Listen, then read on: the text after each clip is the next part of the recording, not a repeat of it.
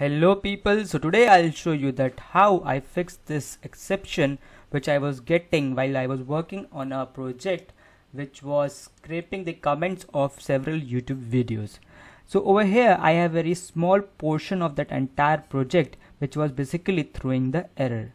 And the error or the exception that I was getting was this selenium.common exceptions invalid argument exception.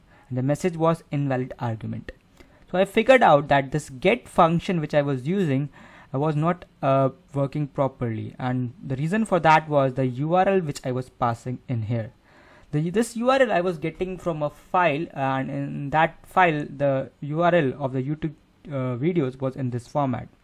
So in order to fix it what I had to do was I had to simply append http colon double backslash www dot and now if I run this uh, program once again then this exception will be gone. So let me run this once again and let's see. Okay so it has opened up that uh, YouTube video. Yes. So now it is working fine and it will then exit with a code 0 okay so this is something that fixed uh, my issue. I hope this will help you out too do let me know in the comments whether this fixed your problem too. And thank you so much for watching. Bye bye